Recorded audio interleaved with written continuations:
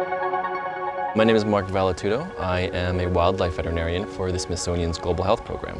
We are driving something called One Health. We are looking at the interaction between humans, animals, and the environment.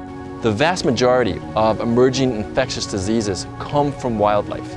SARS, MERS, Ebola, Zika virus now, avian influenza. So these are some of the big scares that we have today. And as veterinarians, we can take part in preventing this from happening by understanding the wildlife.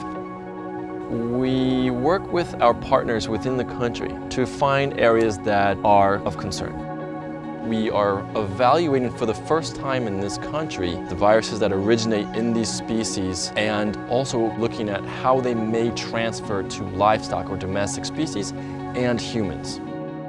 We collect samples from wildlife and livestock and the humans. Once we have that information, we pair that up with modeling that can make a statement saying the people that are exposed to animals in this method or have these kinds of practices, they're the ones that are most likely to have exposure to this virus or this virus or this virus.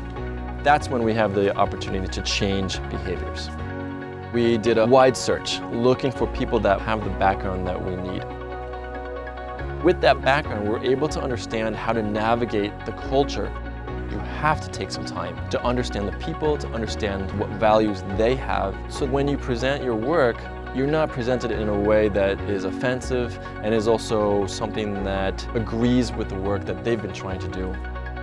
By studying pandemics, we can protect an animal, we can protect the people, and we can protect the environment. That's the basis for One Health.